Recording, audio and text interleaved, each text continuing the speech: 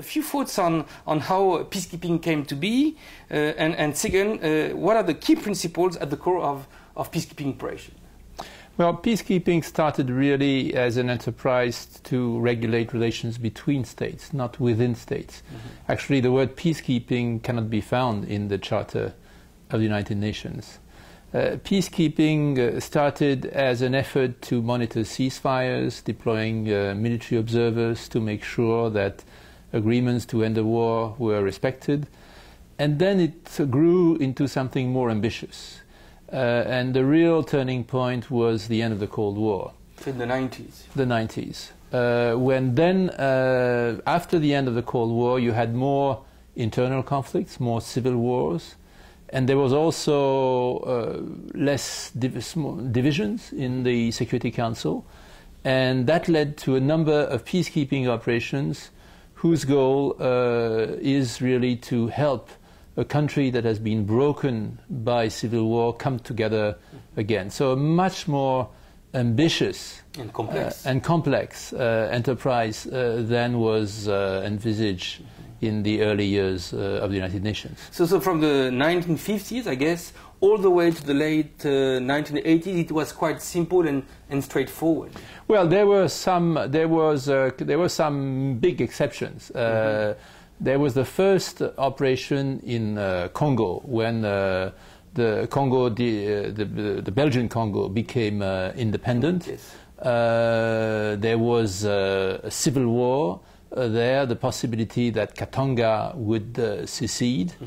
And the, the state, the new state, was extremely weak, and the United Nations was called upon to prevent the breakup of uh, Congo. Uh, this was a major operation. Uh, there were even jet fighters really? In that operation, Swedish uh, fire, uh, jet fighters. Because that, at the time, the, the, Secretary General was from Sweden. Yes, uh, yes. it was Dag Hammarskjöld, and he died while in mission, on a mission in Congo. so that was the only big, actually huge operation during the, the Cold War period. All the other operations, uh, there were first there were very few of them because it was hard to get the Security Council to agree uh, on anything. So there was the mission to uh, monitor the ceasefire between uh, Israel and its uh, Arab neighbors. Uh, there was the mission to monitor the ceasefire between India and Pakistan. these were the first two missions, actually, uh, two, the first two peacekeeping missions. Uh, the, the one in the Middle East was expanded uh, after the uh, Suez uh, crisis. For the first time, there were not only military observers but troops deployed. Then the Congo operation, the big, the big, big exception. The big exception. Uh, then you have an operation like you have Cyprus, mm-hmm. where I mean, with a war that uh, pits um, in the Turkish uh, troops and the Turkish Cypriots against the, the, the Greek uh, Cypriots. But again, it's the monitoring of a ceasefire. And there is Lebanon uh, with uh, ceasefire. Uh, again, between Israel and, and, Lebanon. And then there is the Golan, that is between Syria and Israel. So all these operations are what we would call first generation operation, traditional interstate uh, but, but, in a way, they are still going on, a number of them. They are Isn't it paradoxical? Well, you know, sometimes people ask, uh, so shouldn't we just pull out? Uh, my answer to, to that is to say, um, even a frozen conflict, as they are called, is much better than a hot war. Yes. And the cost of any war, the human cost, uh, and also the financial cost, but the human cost, mm -hmm. is immense, and so the, the, the in reality rather limited cost uh, of those uh, operations, of those so-called traditional operations, is well worth uh, the human lives uh, saved.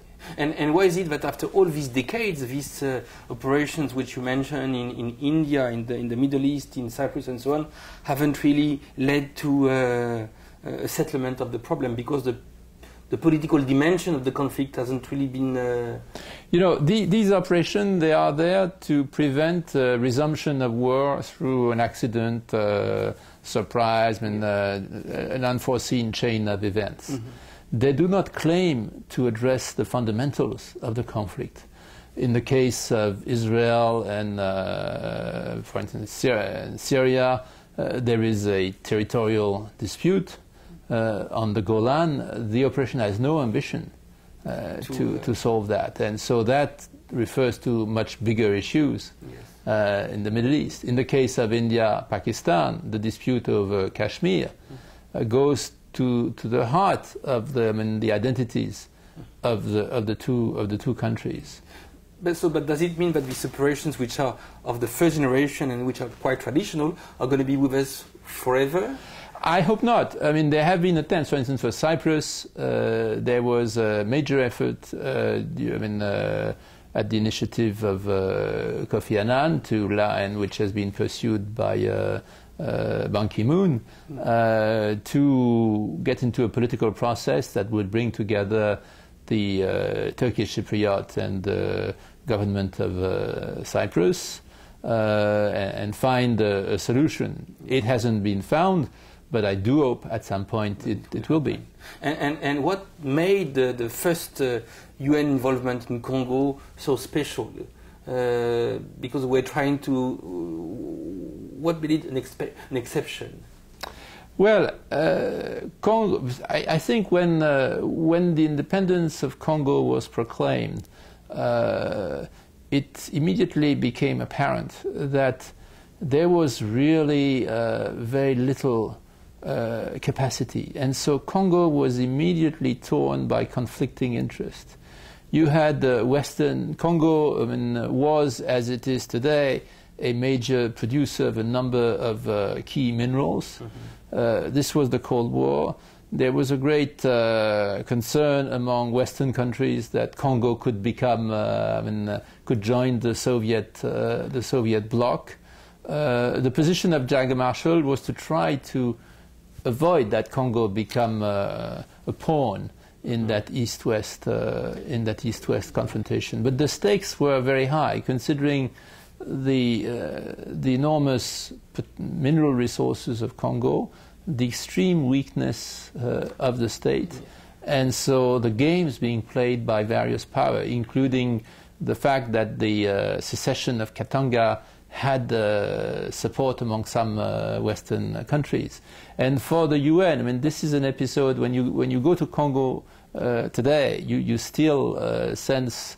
Uh, there are very mixed feelings about on that what happened. about what happened yes. there because you, you remember the assassination of, uh, of Lumumba, yes. which is a key moment uh, in the history of, uh, of modern uh, Africa. Mm-hmm. And uh, the UN uh, could not uh, prevent it. Yes, prevent and, and, so, by association, the UN, this operation was a bit tarnished, although you, the, there was nothing the UN really could, could, could have done. Mm-hmm. So, all the way to the late 80s, the principles at the core of peacekeeping operations are interposition and ceasefire. That's basically yes, the idea. Uh, that's basically the idea, and from from uh, you know the nature of that operations emerge a few key principles in the, the way peacekeeping operations are conducted.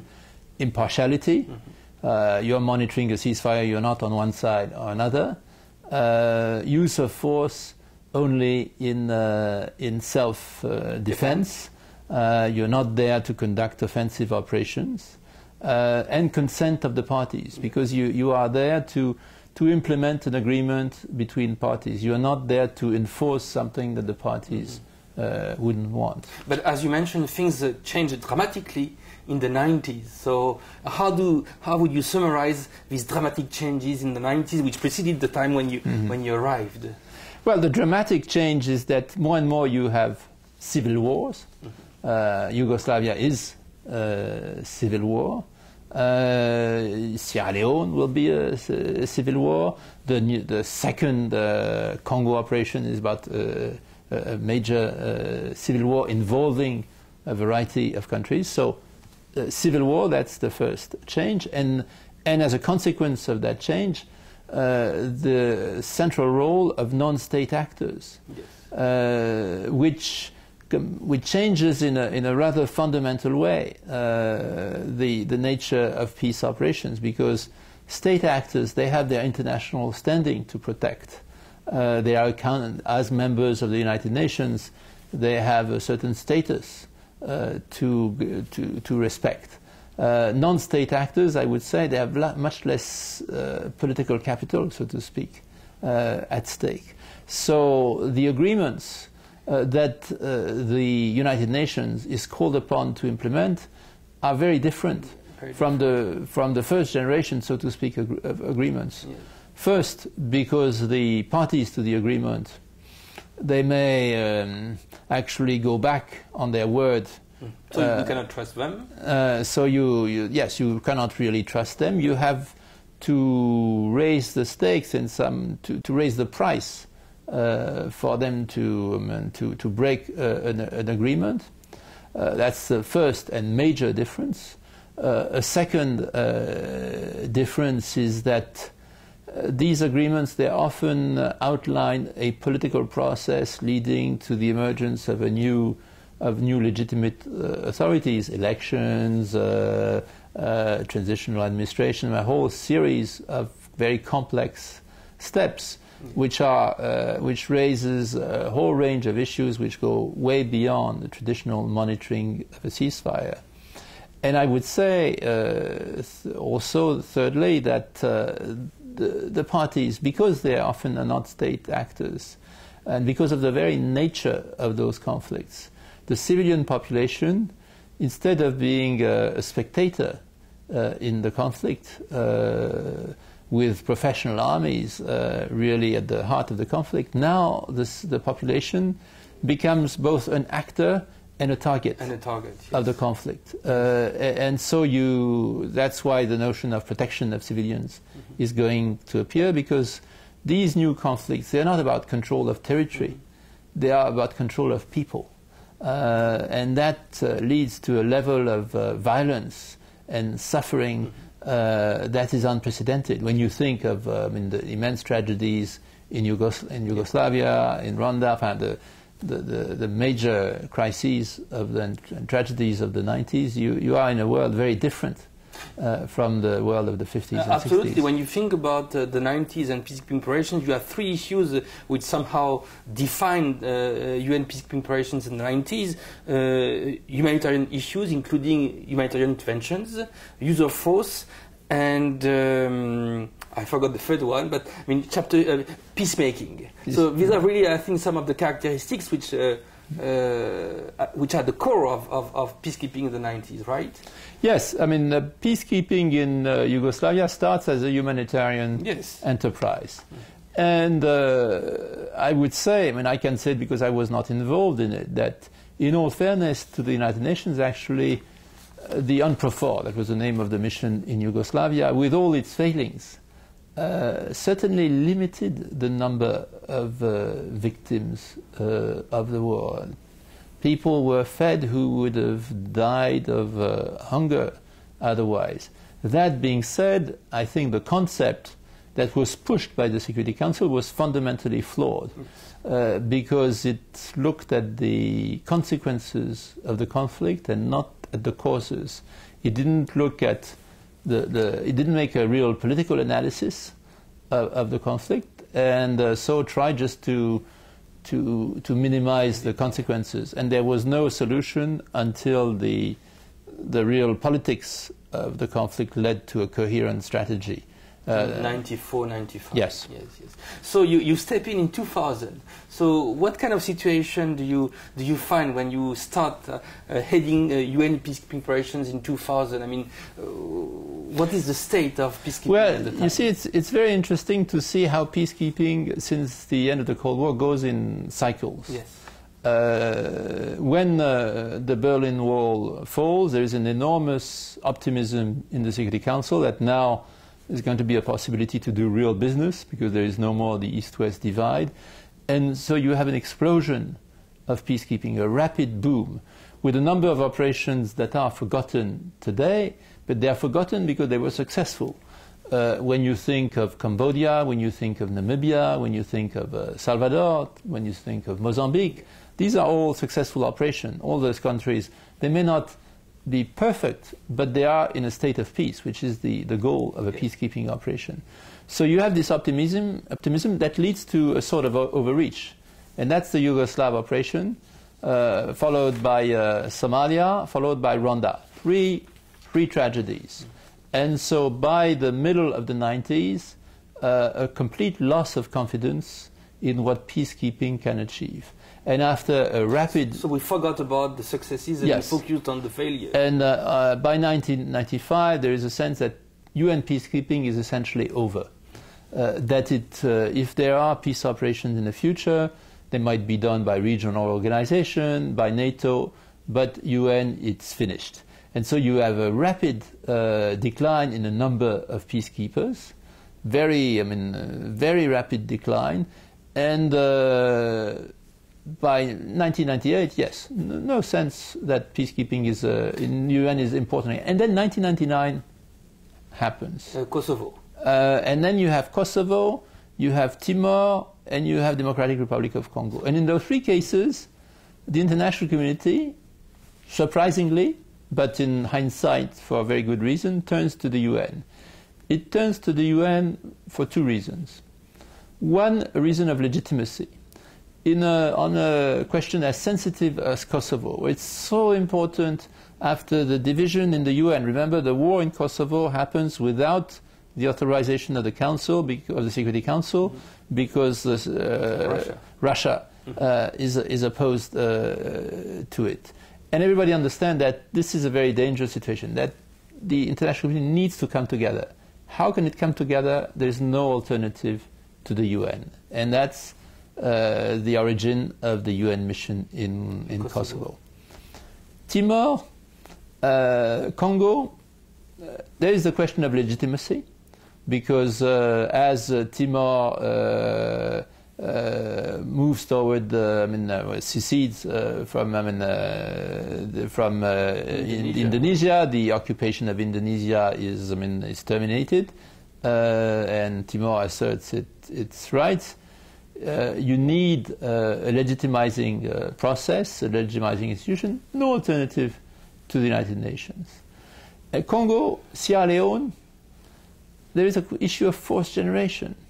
That is, the UN has, a, as the other fundamental comparative advantage of the United Nations, uh, uh, with uh, after the, the, its, legitim, its legitimacy, is the capacity, the, the fact that there, it has the capacity to recruit troops worldwide, and no other organization Can do that. can do that. Yes. Uh, and so, when the international community looks at ways to address those two evolving crises uh, in Timor and in, and in Congo, it finds that it has to turn to the UN. And so, when I arrive in 2000, there is, uh, we are just at the beginning of, a new, uh, expansion. yes. Uh, and we are also at the beginning of a new phase of peacekeeping because there have been those devastating disasters of the 90s. The UN has been more transparent about the disasters than probably any organization uh, would have been, and certainly any national government. Uh, it published a very uh, hard hitting report on Srebrenica.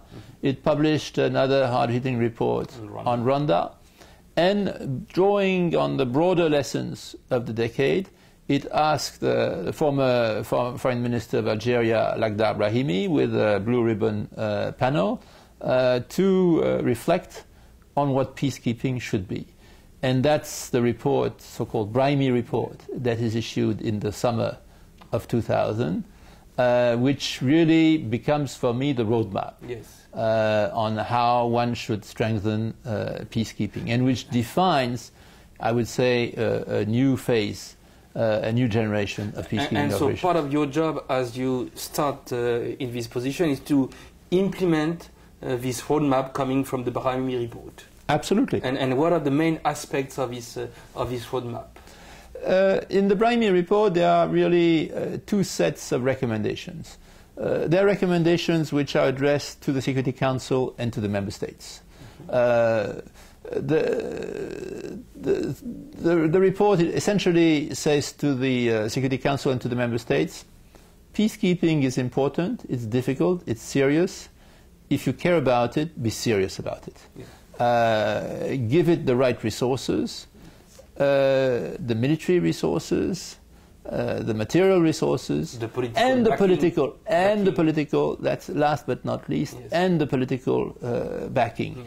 And don't ask peacekeepers to do what they cannot do. That is, when you deploy a peacekeeping mission, make sure that the situation is amenable uh, to uh, to peacekeeping. That uh, that there is there is a political basis. That there is a, a peace to keep.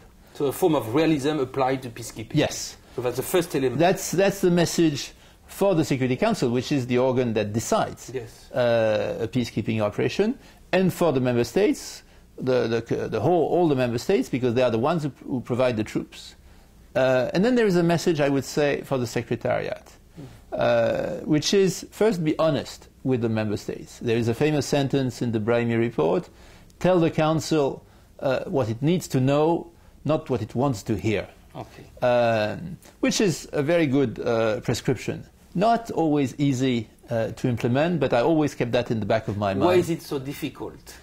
Well, because you're under enormous uh, pressure.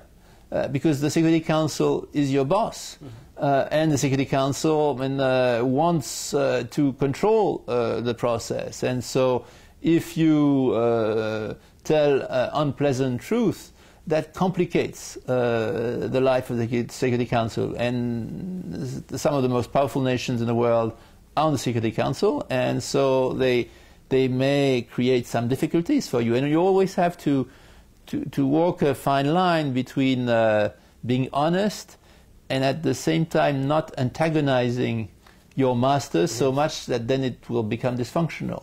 Uh, and that's a judgment call.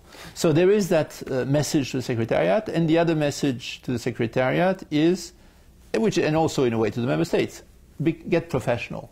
Uh, so What does it mean, get professional? Get professional. That is, uh, when you run, when you uh, conduct military operations, I mean, have a real headquarters, organize it in a professional way, I mean, uh, deploy uh, more effectively, uh, run peacekeeping as not as a kind of exceptional activity of the UN, but as a core business of the UN, and so put in place effective structures Mechanisms, to, to backstop so on, yes. procedures, Yes. etc., to, to backstop operations, which in any case will be difficult, but at least they deserve uh, a solid structure because to it support was them. not the case in the 90s. So In the 90s, it was amazing. Uh, at the time of Yugoslavia, there was not even a situation room working 24, working round the clock. So you are in Yugoslavia, you want to call uh, the UN. quarters. Uh, Uh, if it's not office hours, you have a problem.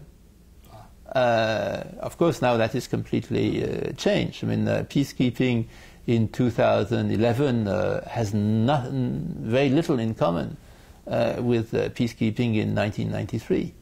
And so, so you, you, you, you begin to implement this, uh, this roadmap. I mean, uh, well, the, the challenge there, I mean, implementing that roadmap, what does it mean? There is a political dimension, Yes. that is a certain attitude, I would say, vis-à-vis the Council.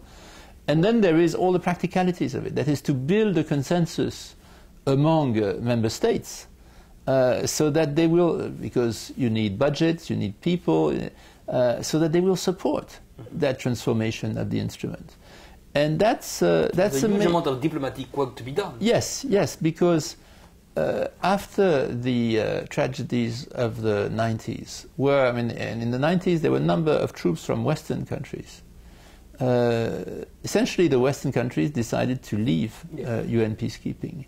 And so now you have a situation where they sense that the mandates are going to be more difficult. Uh, already, I mean, uh, Congo doesn't look easy, uh, even in, uh, in 99 to, to 2000. Uh, but the troops that are, that are deployed to implement those mandates in Sierra Leone, in Congo, they are troops from the developing world. So they're not as professional as you would want them to be. well, some are very professional, but there is a certain degree of resentment uh, that uh, the countries that decide uh, who will take the risk do not put their troops at risk. Mm-hmm. Uh, and so, if you want to reform peacekeeping, uh, you want to have an agreement between the countries that decide, essentially the, the members of the council, the countries that pay the bill, uh, that is essentially the rich uh, countries, and the countries that take the risk, essentially the countries from the non-aligned movement, from uh, the developing world. And one of my uh, priorities uh, during all those years in peacekeeping was to to bring together those three group of countries. But saying you, it was a challenge,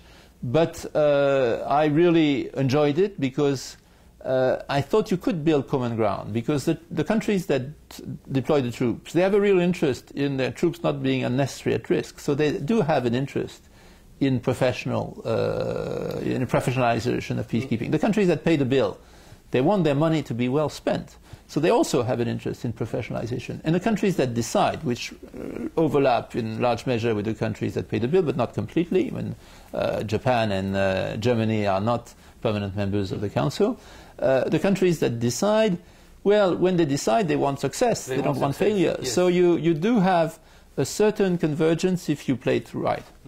And, and, and do you feel that it worked over the years? Uh, over the years, it worked. I think the danger, frankly, is that as peacekeeping was, I would say, stabilized, uh, as uh, more operations were deployed, and it seemed to be, I mean, there were setbacks, but on the whole, there was a sense that peacekeeping was doing better than in the 90s. Then the ambitions grew even faster than the instruments. Mm. And uh, my concern, frankly, today is that I think, again, in a way, the international community is ahead of what the instrument uh, can, can so do. So we're, we're, asking too much. We're asking too much, yes. yes. But the, the, the, nature of, of UN peacekeeping operations, in the 2000s, changed a bit compared to the 90s. I mean, we didn't have this kind of uh, uh, humanitarian interventions which we had in the 90s. So tell us a bit about the nature of peacekeeping in the, uh, in the 2000s. Well, I, there, I think there was a greater recognition that it's all about politics. And ah. myself, I insisted on that because, uh, and still today, I think uh, that message must not be lost. And it's, it's, always at risk, that message. For instance, today there is a great emphasis put on protection of civilians. Yes. Uh, and rightly so, because if the UN is not about protecting uh, people, if it's not about the people. I mean, the, the charter, the first word of the charter are we the people. Uh, so that's really the, the, the, the fundamental uh, role of the UN is to make people live a better life. So protection of civilians, in a way, is at the heart of what the UN does.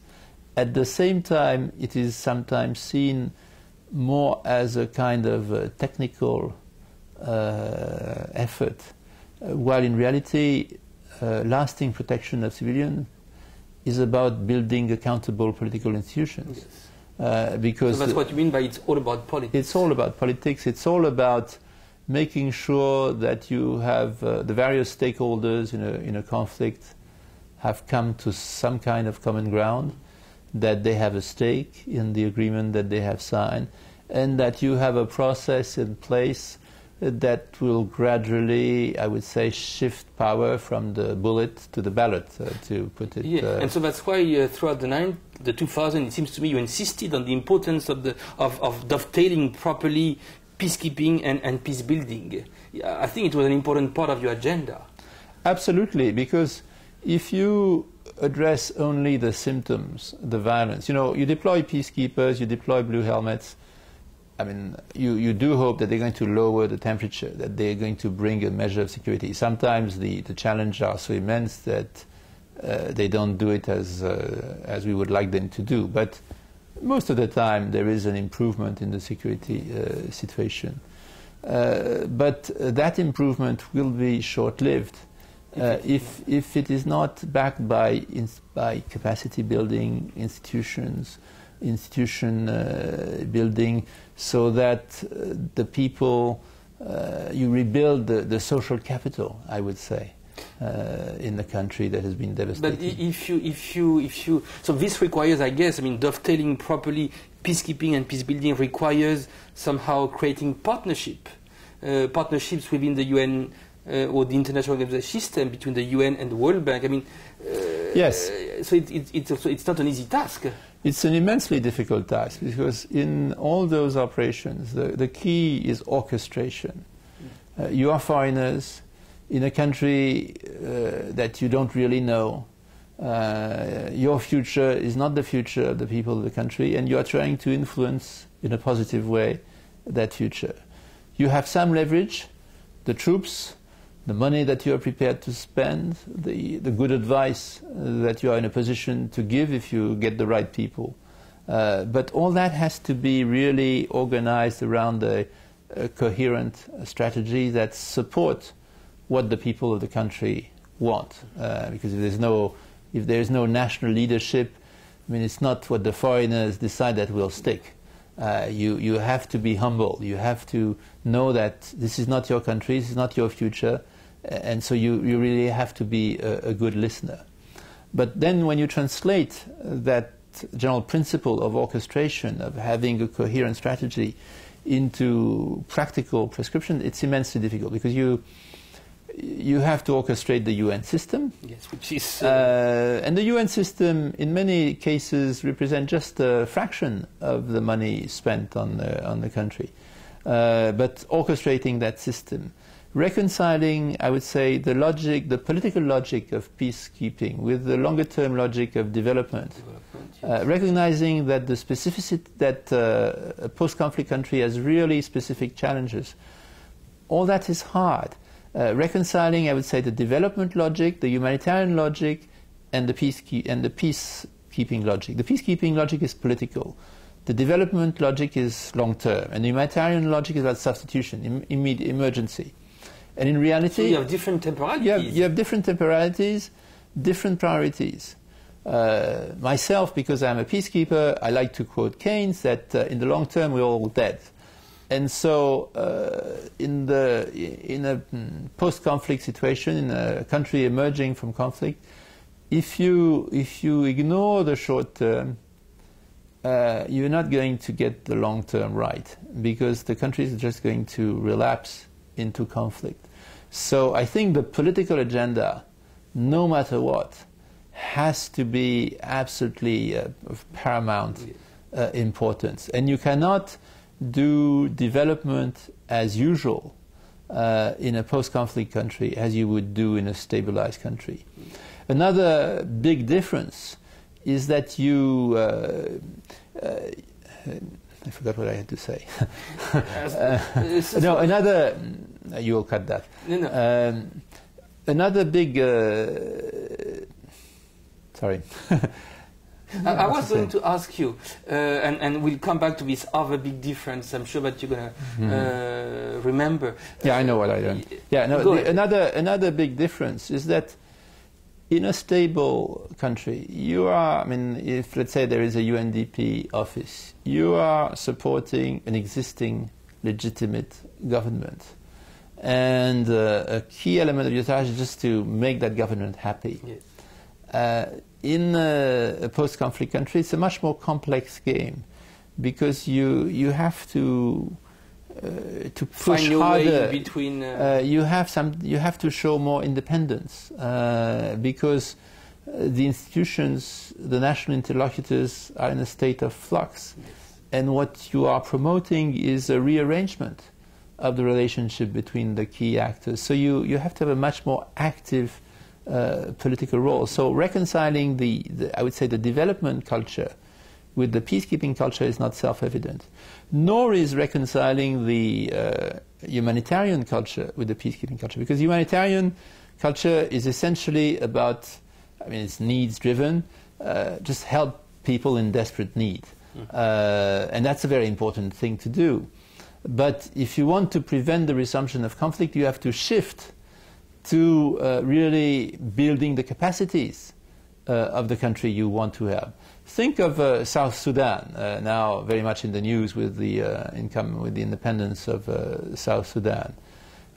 during many years, when there was a war between South Sudan and Khartoum, there was a major humanitarian operation there, which was called Operation Lifeline Sudan.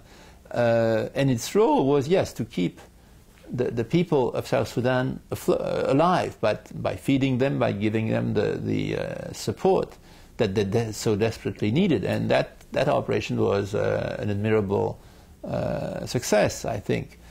But now the challenge is very different. Uh, now it's about building, uh, helping a country build itself. Yes. so now it's about making sure that there's a functioning Ministry of Finance, functioning Ministry of Agriculture, and that goal can become, in a way, antagonistic to the to the humanitarian goal because uh, you want the country to take charge.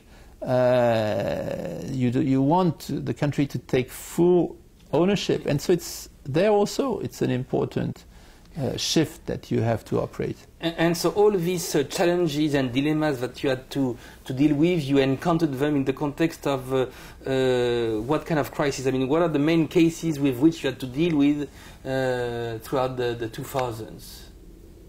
There were, there were many, too many. Yes. Um, one of the most difficult was, uh, and still is, uh, the Democratic Republic of, uh, of the Congo. So why is it so difficult?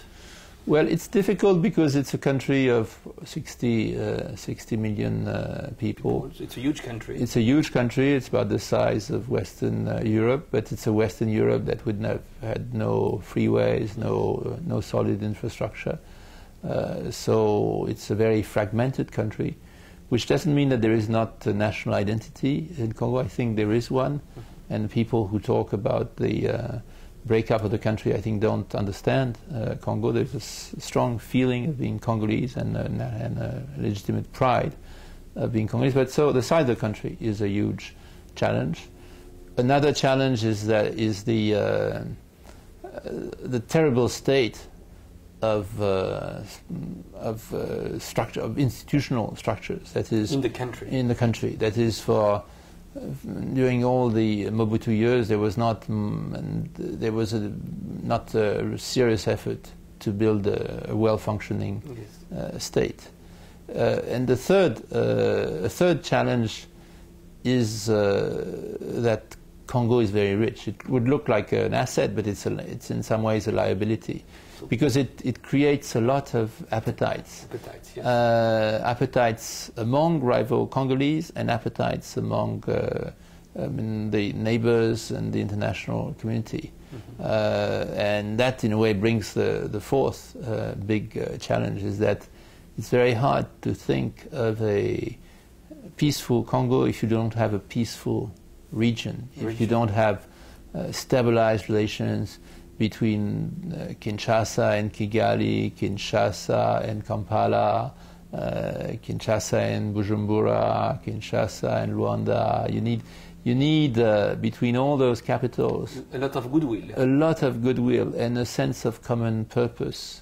And you need all the countries to be reconciled with the idea that uh, a strong Congo is in the best interest of the region. And, but that's not what the neighbors tend to think that the neighbors tend not to think that a strong Congo is the way to go. They hesitate. They hesitate. they hesitate. Yes, they're not so sure. And, and so when when uh, when Congo landed on your desk, what was going to be the goal uh, of the mission? Uh, what was going to be uh, uh, the expected results? Well, when Congo landed on my, uh, on my desk, actually the mission was launched even before I joined, uh, a few months before I joined. Uh, when you when you found Congo. When I found Congo on my desk, uh, it was the mandate in a way was uh, still quite limited. Congo at the time was occupied by several uh, foreign armies because each side in the conflict, the Kabila, I mean Laurent Désiré Kabila, Kabila Senior, the, the father of the present president. Uh, and uh, and then the uh, rebels who were challenging Laurent Désiré Kabila, they each had allies, and so you had many African armies in Congo, and you had a ceasefire line, which was not a ceasefire, um, a very clear ceasefire line, but you had essentially one part of Congo. Uh, occupied by, controlled uh, by rebels and uh, associated foreign armies, and you had another part of Congo uh, controlled by the government in Kinshasa and associated uh, armies. So the first uh, phase was uh, to ensure a withdrawal of those armies neutralize this army. and a reunification Yes. of Congo. Congo. Uh, the withdrawal of armies was a had to be a, a military process with a series of agreements. Uh, the uh, reunification of Congo had to be a political uh, process, and so these two processes were I mean, pushed. And by 2003, uh, the armies were withdrawing uh, including the Ugandan army in 2003. But then a whole new set of problems appeared, and that was probably the, the toughest crisis I had to face uh, during my eight years at the helm of peacekeeping. It was in 2003 as uh, the Ugandan were withdrawing from Ituri, which is in the northeastern uh, corner of uh, Democratic Republic of Congo, right next to uh, Uganda. Uh, very severe violence erupted in Ituri with the risk of uh, massive killing, killings. Uh, we had no troops uh, and, there. and, massive killings mean tens of thousands. Yes. I mean, uh, That was a possibility, Yes. frankly, because in uh, Ituri you have uh, uh, deep ethnic uh, divides uh, between the Lendu and the Hema in particular. There are other uh, tribal groups which are actually very important to bring a measure of, I mean, uh, to, to help avoid a total polarization like between the Hutu and the Tutsis in, in Rwanda. And it's very important for the stability of Ituri that there are also these uh, group like the Alur and others. Uh, but uh, there was a risk of massive killings because these uh, tribal groups, they all had, uh, they were aligned with, the, they had friends uh, in, the Congo, neighborhood, in the neighborhood. yes. And so the, the global conflict could turn into a very nasty tribal conflict. All that uh, further poisoned by the natural resources Yes. that exist in Ituri. Major, one of the biggest gold mines in the world is in Ituri. So enormous risks. And faced to that, a very weak mission because that mission uh, was just about monitoring a ceasefire and withdrawal. It was uh, that, so it had uh, it had a very limited number. It had about 5,000 troops, which is ridiculous when you think of the size of Congo. And those troops, their role was essentially to protect uh, bases where there were a few helicopters to, to monitor the, the ceasefire line, nothing more than that. I had just one battalion in reserve uh, of Uruguayan, and uh, very courageously, those Uruguayans, uh, I mean, the president of Uruguay agreed to deploy that battalion uh, In- in, in, Ituri. But that battalion, so it deployed in the capital of Ituri, in Bunia, but it did not have the capacity to, uh, to really turn around the situation. The capacity it had, which was so important for the future, is that it focused the attention of the world on Ituri. And so then uh, uh, an effort began to mobilize a multinational force. Uh, and uh, Kofi Annan uh, and myself, we managed to convince uh, uh, my compatriots, the French, The French. and the European Union, Yes. to deploy a, a multinational force, uh, an EU force in Ituri, and then uh, the Security Council agreed to beef up, to strengthen uh, MONUC. This was an enormous gamble because when, I, when the troops were deployed in Bunia, the, the Uruguayan troops, you know, uh, for the people there, they thought now they were saved. I knew they were not. So it could have turned into a Srebrenica if the other Mm. steps uh, haven't, hadn't been taken. Uh, the people could have thought, oh, now we're saved by the UN, and then the UN would not have been in a position to really uh, save them. So there was a bit of a gamble that uh, this deployment would lead to, to more deployments, to, to a real strategic uh, shift. It worked, but it gives you uh, an idea of the kind of ethical dilemmas you face, because the, the real dilemma was either you, you know, you look the other way, because we were under no obligation in Ituri, because the, the mandate There was no mandate. there was no mandate because uh, the mandate says only, I mean, uh, you have to protect populations in imminent danger, but in the areas where you're deployed. So if you don't deploy, you don't have an obligation. If you deploy, you create an obligation for yourself.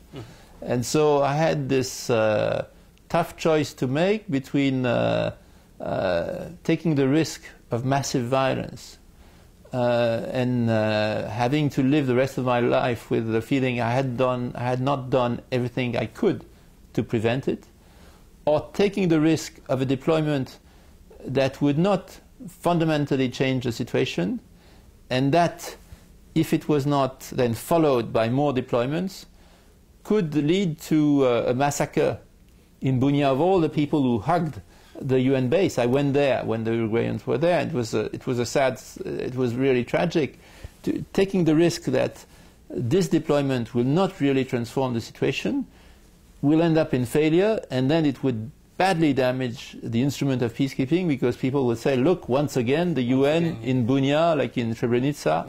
Has let the people down. And, and there was no way for you to get uh, an additional mandate from the Security Council at the time. It is not about mandate, it's about resources. Resources.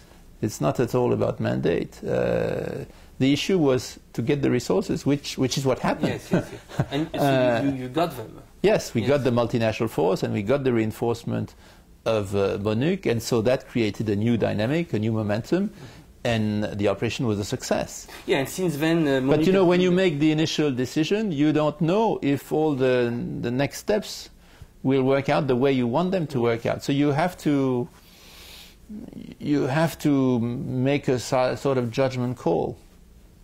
And, and, and gamble. And, and, gamble. And since then, MONUC has been one, of, if not the biggest. Uh, yes, it has been the, the biggest. And MONUC has had, uh, it has ebbed and flowed. So Bunia was a high point.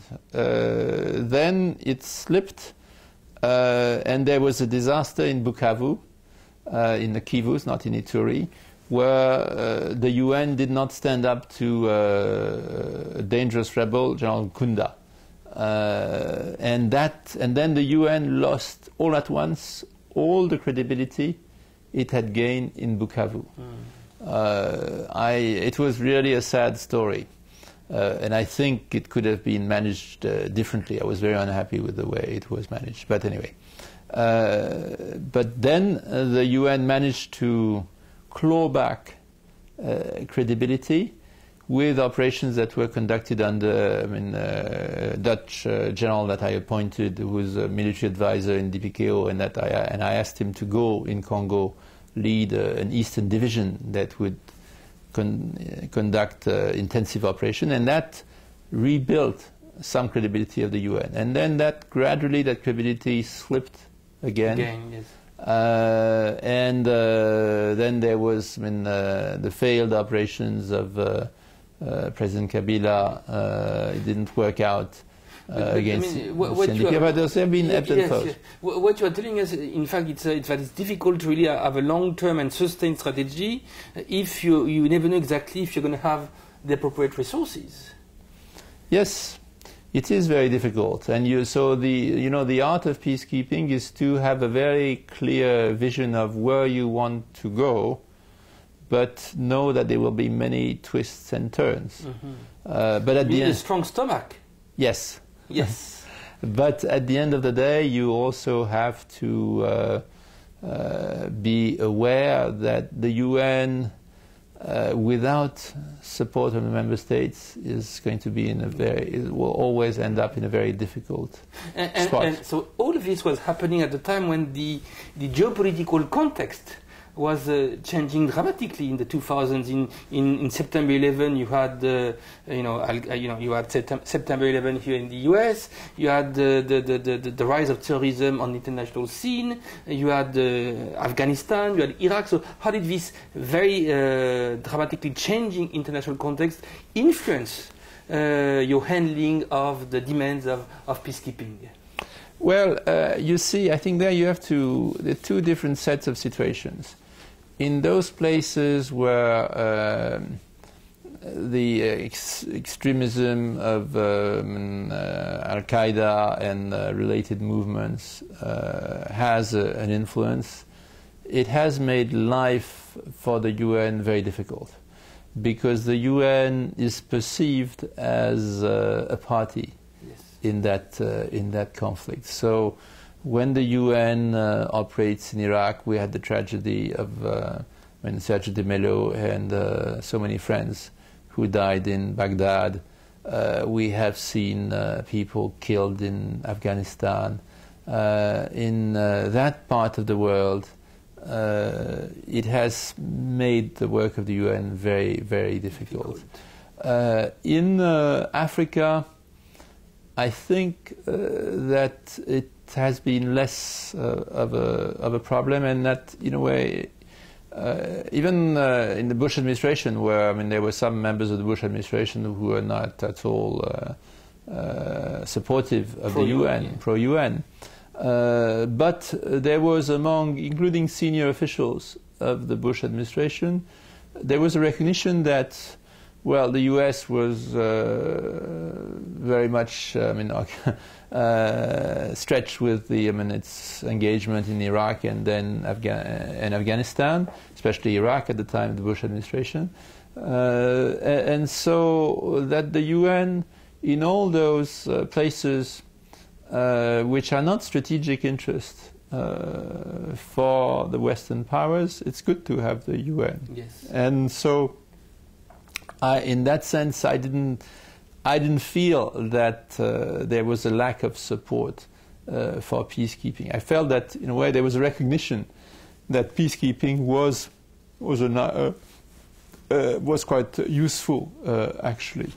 The um, the difficulty, though, was that in the Security Council, with the very acrimonious uh, mood that uh, developed uh, uh after, I mean, the, during the, at the time of the Iraq War, there was a risk that this could comp complicate uh, negotiations and uh, agreement on missions. But in the case of Congo, for instance, and the operation in Bunia in Ituri happened uh, in the summer of 2003, so right after the Iraq War. It's actually quite interesting that, in a way, this operation, uh, I don't know if I can say benefited uh, from the Iraq War, but it it, there was a sense in the Council after the the horrible uh, disputes in the Council on the Iraq War that it was important for the Council to show that they could come together. Yes. Mm-hmm. And actually, I used that to get the support in the in the Council. And I think the, the members of the Council, the US, France, uh, which had been bitter opponents on the Iraq War, were happy to come together on uh, Congo. Uh, and the US helped, and the French worked with the US. Uh, so it's, it's a complicated picture, the relationship between when the sort of geostrategic issues. Yes uh, and peacekeeping. But, but uh, it, it, seems that uh, your involvement or the involvement of the UN uh, in Afghanistan and Iraq was not as important as uh, as time consuming as it was for you for Congo. I mean, uh, the UN didn't have the lead in this crisis, well, and in Iraq, I was not uh, involved because there was no, there were no peacekeepers, and the mission was uh, run by the Department of Political Affairs. Okay. So I mean, I had, uh, I mean, uh, the Secretary General I mean, consulted his uh, senior advisors, so I would discuss uh, Iraq in meetings or in tete-a-tete with Secretary General a number of times, but I had no operational responsibility. In the case of Afghanistan, it was different because uh, Secretary General made the decision that uh, Department of Peacekeeping would be responsible yes. uh, for the mission in Afghanistan. But I mean, we had the privilege of having an outstanding uh, special representative like Brahimi. Yes. Uh, and so I tried to help him, but I certainly didn't claim I was going to second guess uh, what he was doing so in, he took in the Kabul. Lead he took the lead, yes. Yes, yes, yes. And so throughout all these years, you know, uh, while uh, trying to manage all these crises, you were also trying to, to strengthen and reform uh, peacekeeping. So the, all the, the, the, reform work that you did uh, throughout the, that you did throughout the 2000s was it simply uh, about implementing precisely this Brahimi report, or was it also going beyond this? Well, in some, uh, in some areas we went uh, way beyond. Uh, for instance, when you think now that there is an Office of Rule of Law and Security Institutions, it goes way beyond what was envisaged in the Brahimi report, which we just said you have to separate the police from the military. Yes. Uh, and so we we said no, you need to not only I mean yes have a standalone police capacity, but you need to uh, connect that to an effort uh, with the judiciary, an effort with corrections. Uh, that was much a much uh, bigger ambition that what was uh, that what had been envisaged Mhm. in, in the in the Brahimi. Uh, in So Brahimi the, the rule of law dimension was an important part of this new agenda. Yes, well, it came gradually, but uh, it was an important part of the agenda. Another, another important part was turning, uh, it, turning the UN more in a learning organization, having uh, uh, you know, a continuous cycle between analysis of best practice, having after-action reports, looking at how things have been done, drawing the conclusion, and then turning that into Action directives, yes. broad directive procedures, uh, and, and then uh, training. Uh, so that so and integrating uh, all, all of that. So there there were hundreds of different uh, efforts that were made, so that the UN in peacekeeping would not have uh, to reinvent the wheel at every turn of the road, but rather would have a body of procedures, of doctrine. I pushed a lot for a capstone doctrine, which was the first time ever that there was in writing uh, a document uh, that became a. That was not. We didn't want that document to be a formal document because then you would. It would have probably been so watered down by negotiation Yes. uh, that it would not have been that useful, but that it would gradually acquire the status of an authoritative uh, document.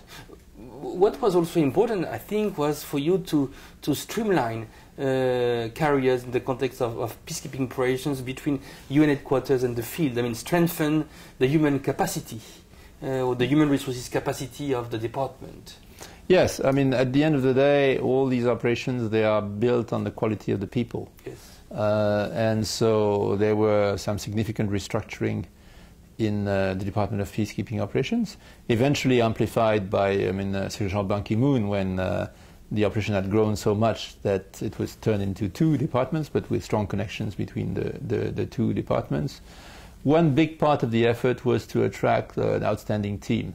Uh, and I think I was very lucky to to have a number of very good uh, people. I mean, in peacekeeping, like in any uh, major enterprise, you have. I mean, not every, I mean, not everybody is outstanding, but I must say that there were quite a few uh, remarkable, and this uh, really uh, created, uh, I think, the right dynamics to to make progress. No, because it's you know, make a career out of peacekeeping in the UN context is not an easy thing, because you know you you you you you serve around the world in difficult situations. So how do you somehow uh, optimize for the organization and for the people? I mean, for the UN staff, this kind of difficult environment. I Yeah. think you, you cared for this thing. For you, for you, it was very important. Very important. Um, well, I think there's still a lot that needs to change, to be honest, and that's why I mean I, uh, I recently uh, chaired I mean, uh, an advisory uh, uh, group uh, to to offer some recommendations on civilian capacities, because I think it's a, it's an area in which the UN still has a lot of of progress uh, to to make. Uh, I'm not sure that it makes sense to have a whole career in peacekeeping because uh, you, you, by definition, peacekeeping operations are deployed in countries in crisis, Yes. and uh, you don't want to spend all your life in crisis places. Sometimes it's good to be in a place that is just normal. Maybe it helps you bring normality to places that have lost that normality. Yes. So I think ideally you would want the careers to allow people to move back and forth between headquarters and the field, but also between uh, field position in crisis places and field position in more settled places. And then there are, there, there are all sorts of technical issues. Uh, you need to harmonize uh, status. I think you need also, uh, frankly, in peacekeeping, to be less stringent on the so-called notion of non-family missions. I think there are lots of places where you could have families with some precautions, but uh, there could be adjustment. I think we, we, go, we go too far there. Turning now to the to the future, uh, and as a way to to, uh, to to end our conversation, how did you see the the, the, the, situation evolving for, for UN peacekeeping uh, in, in the years ahead? I mean, uh, uh, what do you see? You don't have a crystal ball, but I mean, what are the trends uh, which you think we should keep in mind? Well, you see, I think the, the big unresolved question is what kind of peace are we trying to promote? I think in the international community we agree of, on what we don't want. We don't want chaos, we don't want war, we don't want violence. Uh, there is a broad agreement in the Security Council and in the international community on, on that. Thank God. Yes. uh, but what do we call peace? What do we call stability? Uh, the definition of peace and stability uh, is not the same, I would say, in Washington, in Beijing, in New Delhi, uh, uh in Brasilia, uh, and it needs to. There needs to be more, more common ground. so, so regarding the, the, the future of peacekeeping, uh, your feeling is that we should have a greater specification of what mean of what we mean by peace. Yes. You feel that we are. We have to agree. I mean, we will never agree on all the details, but we have to have a measure of um, sort of common vision of where we want to go. Mm-hmm. Uh, and I take the example of Congo. We've discussed Congo a lot uh, in that conversa- in, our, in our conversation. You see, uh, Congo now there are um, China, new investors. China has invested some nine billion dollars in the country. Uh, so China Chinese companies have a stake in the stability of the country just as Western countries, Western companies. Now, do they have the same definition of stability? What's the role of institutions? Uh, how are you going to channel conflicts through institutions? Uh, what kind of institutions should we push? Uh, do we have a common understanding that we can promote with the Congolese on that? I don't think we have enough of that conversation. It's a very sensitive, very delicate uh, conversation. Uh, but when you invest so much money, I'm not talking just of the investment of the companies, but the investment of the UN, yes. which has spent billion uh, in Congo, uh, there has to be a measure of clarity. And, and, why is it that we are not having this uh, conversation on, on what do we mean by peace, and why is it that we don't have this clarity? Because uh, we are competitors. I mean, the, the international community, it's a beautiful word, I mean, beautiful expression, these two words, international community. Community is a very strong word. But is there an international community in the real meaning of the word? Is there a common vision of some basic uh, principle? Uh, it's not. It's not absolutely clear it's, so, uh, it's uncertain. So uh, at the time we are working together, we are undermining one another. Well, to a certain extent. To a certain extent. That is, I, I think there has to be a much greater effort to to try in the Security Council among the key players uh, in the so-called international community to have a, uh, to reach a common understanding on the fundamental goals of peacekeeping. You know, between I would say the maximalist democratization agenda of Western countries and a, a more minimalist agenda, just stabilization. Uh, uh, but what does stabilization mean of um, the non-aligned movement of countries uh, like China? We we have to find the the right balance. balance yes, and uh, I don't think we are we are there yet. And for an enterprise as ambitious as peacekeeping has become, it's very important, so to speak, that the board of directors uh, be agreed. If the board of directors that the Security Council is uh, is not totally uh, clear on where it wants to go, then all these difficult missions are at risk. And, and can the head of UN peace operations uh, help uh, the board of directors to see the light, so to speak?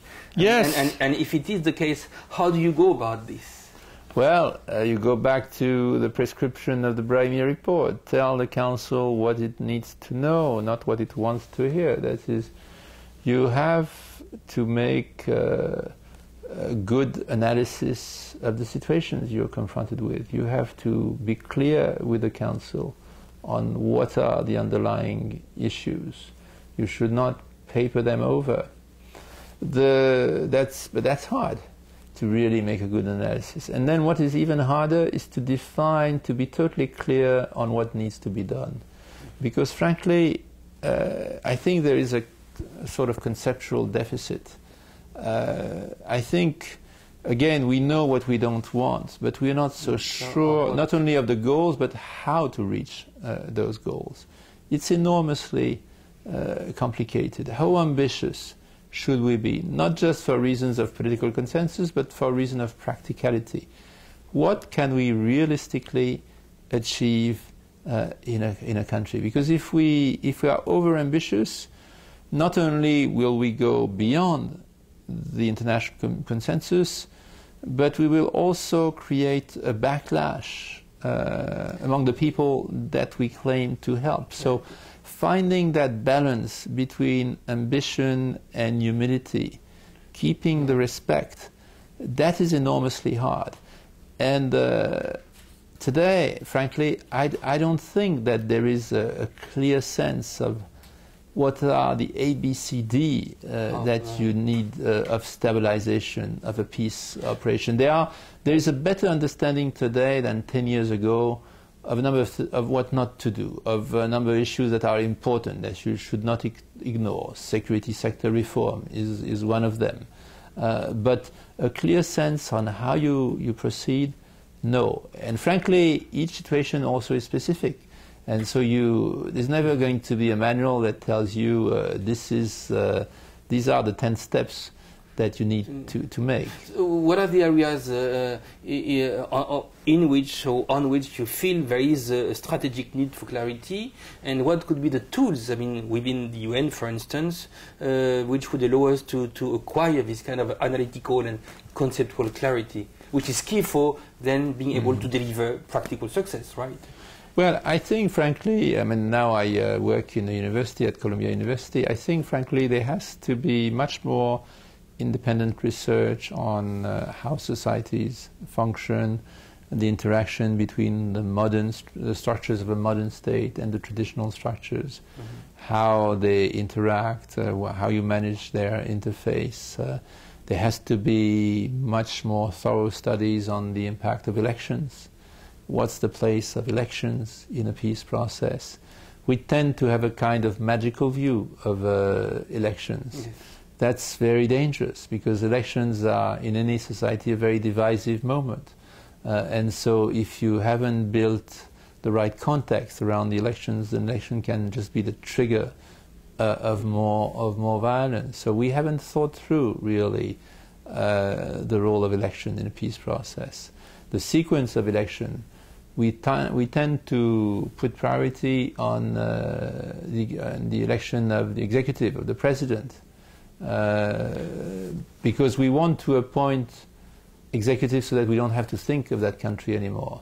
But the, the much more complex issue of the balance between the different uh, centers of power, yes. the sub-layers, the parliament, the local institutions, we tend to ignore.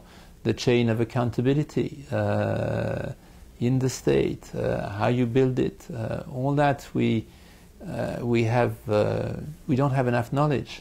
Rule of law, you know, there have been works, Tom Carothers and others who who have pointed to all the difficulties of just a mechanical view of of rule of law, because the law, the rule of law, each country has its own culture.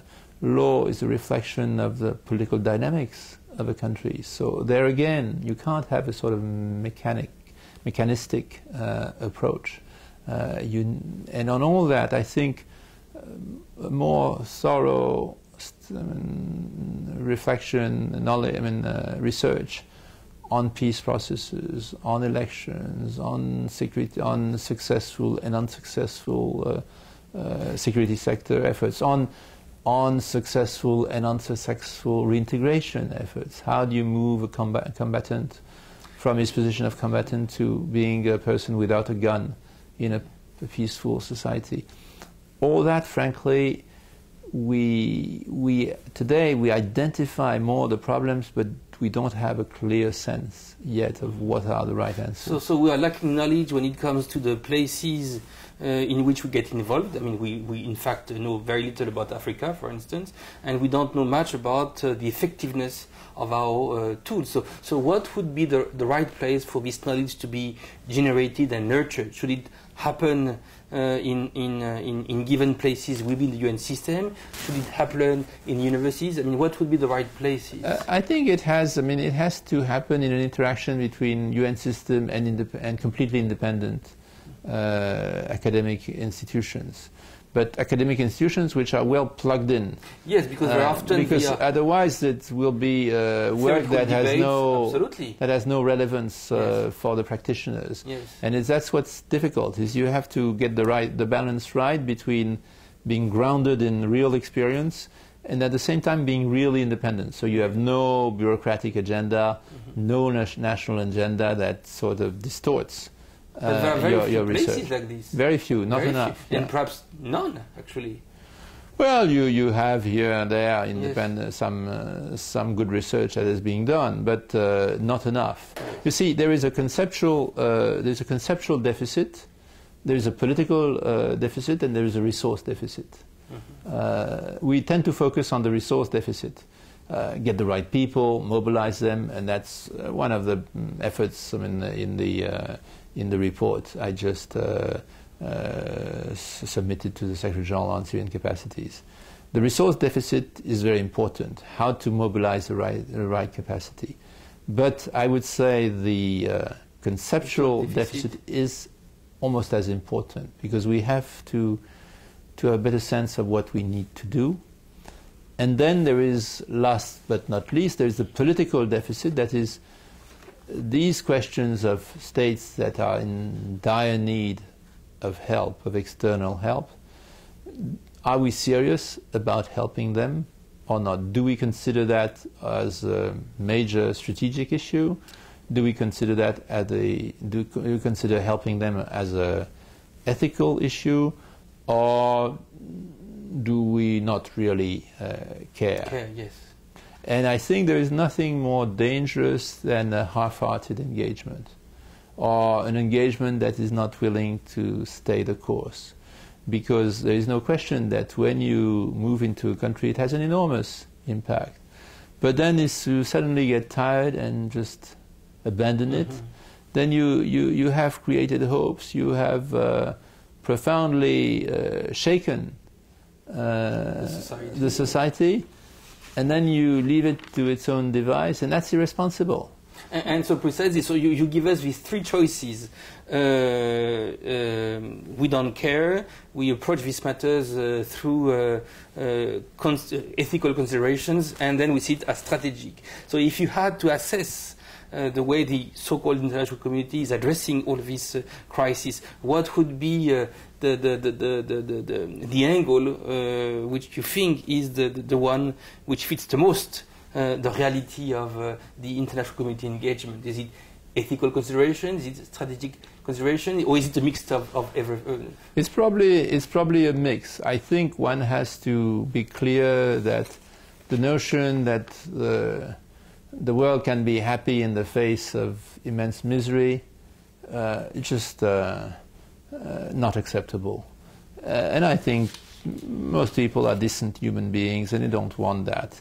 But I think that's not enough. I think you have to emphasize the uh, the strategic uh, di- dimension. That is, if you accept uh, that states can almost collapse, uh, that they can, for all practical matter, be abandoned, then uh, gradually the uh, the ungoverned space, uh, so to speak, uh, will uh, grow and grow and grow, uh, and that's that's enormously uh, dangerous.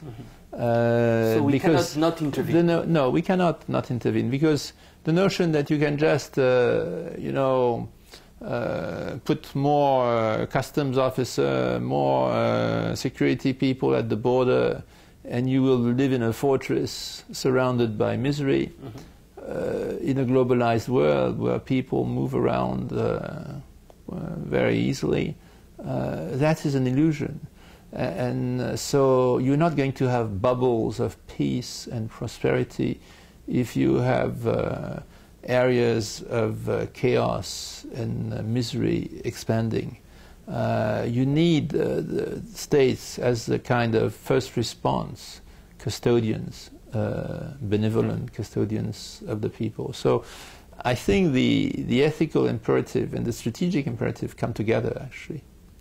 Uh, you, you, are talking about uh, ethical considerations, uh, strategic considerations. We haven't uh, talked about Haiti, which is very close from here, and, and the UN has been involved in Haiti uh, uh all the way since uh, 1994. What is your assessment of the UN involvement uh, in Haiti because it continues to be part of the UN agenda? Indeed. Well, you know, Haiti is a real tragedy because before the earthquake struck, I think Haiti had made, uh, with the I mean, uh, latest involvement of the UN, had made real, quite significant uh, progress. Uh, the uh, the violence had been contained, uh, and there was real prospects of more investments, more I mean, the transformation of the political culture in Haiti. Of course, the the enormous tragedy of the of the earthquake brought all of us back to square square one in in a in a tragic way. I think in Haiti, the one of the the fundamental issue is a political is a political one. Uh, people think, oh, let's just just just uh, throw money, have development project. No, it's not going to be enough. It's not going to be enough. It's the the, the political software, so to speak, that has to be uh, uh that has to evolve. In Haiti, there is an enormous, I would say, social question. You have a, a very small number of people who have enormous wealth, and you have uh, many people who have immense poverty and so it's an enormously polarized uh, society where it's not clear that there is a uh, that those in power that there is enough of a constituency for change uh, in a way that would benefit all, but, all but the people. It, it must be in these conditions. It must be very difficult for the UN to, to really succeed and make a difference. I mean, we make a difference, but it's to succeed? It's uh, it's enormously difficult. I think the focus has to be politics, politics, and, and politics uh, mm-hmm. in Haiti. So and so perhaps as a way to, to, to, to, finish our conversation, back to the future. So in, in, in, ten years from now, twenty years from now, where do you see the, the, the UN? I mean, uh, the UN peacekeeping operations. What will be uh, at the center of uh, the conversation uh, concerning peacekeeping operations? Well, you know, if uh, I would like to be a great optimist, I would say I would hope that in 20 years from now, the issue of fragile states, of uh, fragile communities, would have been, I mean, uh, resolved. Uh, to be honest, I'm not sure it will be, but I think the uh, the form of violence is changing. That more and more you have, uh, for instance, megacities uh, where the uh, sort of the, the, social social control control of the state is weaker, and where there is not uh, the, the, social capi- capital, so to speak, is very depleted. And that's a phenomenon that you see in the developing world with these megacities of Mexico, Kinshasa, Lagos, Cairo, mm-hmm. uh, I mean, all around, I mean, Karachi, I mean, to, to mention uh, three different uh, continents. Uh, but uh, it's also something that may affect our own uh, world. You have seen the violence in French suburbs. Yes. So you urban violence. I think urban violence. I think the the management, the political management of urban spaces will be is an issue you think, of the future. You think that it could become part of the UN uh, peacekeeping agenda? I, uh, you asked me a very difficult question. Where will we be? No, but you're right. I mean, but I think uh, it's quite a yeah. possibility. Yes. yes, because more and more you will have uh, also transnational threats that then are rooted in very local uh, problems. Mm-hmm. And uh, issues like uh, the drug traffic Uh, it may be resolved if the status of drugs uh, changes, as re- recommended by a recent uh, report, but it may not. Uh, and uh, you see there that often uh, states do not have the capacity to deal on their own. Yeah, in the case of issues. Mexico, Yes, uh, which is a real problem, yes, or West Africa. or West Africa. We- West Africa, which now uh, s- I mean, really suffers from I mean, a lot of drugs from Latin America, Mhm. go to Europe through West Africa. So, so uh, years ago, uh, peacekeeping operation was about uh, inter- interstate violence. It, it, it, it became about interstate, vi- inner country violence, and and so you're telling us that the, the, the, the possible evolution of the nature of violence could lead to a, a third, perhaps. Well, you know, it reflects, uh, I mean, uh, my own view of the evolution of the world is that it's going to become uh, ever more global and ever more local. Uh, and so, and that the intermediate structures are being weakened by those two trends. Uh, the, the people are more and more affected by global issues, uh, global movement of people, global epidemics, global climate change, etc. Uh, but at the same time, because they lack, uh, they have less and less confidence in distant structures, so they sort of, uh, uh, they more and more focus they relocalize themselves. they relocalize themselves, exactly. Uh, and so this will create a lot of new uh, political issues, but you need, uh, you need some mortar to connect all these uh, local uh, and global uh, issues. Uh, and uh, I think probably the UN may have a role there. Of course, UN is an organization of states, of sovereign states. That's uh, these are the states are the building blocks uh, of the UN, and the states are in crisis. Yes. Uh, and so, how will uh, that crisis affect uh, the UN? How the UN will be part of the solution uh, of that crisis? I think that's that's a real strategic uh, issue uh, for the UN. What I'm sure of is that today there is a certain fashion for going beyond institutions, but that's a, G20, but that's a luxury that only the rich can afford. When you are poor, when you are weak, you want the reassurance of the law, of the formal processes. And so I think this invention of institutions that goes back to the ancient Greeks or before, uh, that, is not going to uh, just uh, go by the wayside. Uh, but institutions will have to adjust, to adapt to a different way of connecting the local uh, to the global. The mediation of states, all that is under under threat. What will uh, complement or replace it? Uh, I don't know. I think more thought has to be given to that. But the UN, as an organization of states, will have to reflect that evolution. and, and, and peacekeeping and collective security could be part of this, of this evolving picture. Yes, what's remarkable with peacekeeping is being a re- very resilient activity. So, peacekeeping is always a reflection of the international system. When the international system was defined by the Cold War, peacekeeping was that activity that prevented local conflicts from escalating to the central conflict. So it, it kept the peace, so to speak, on the margins of the central east west uh, conflict.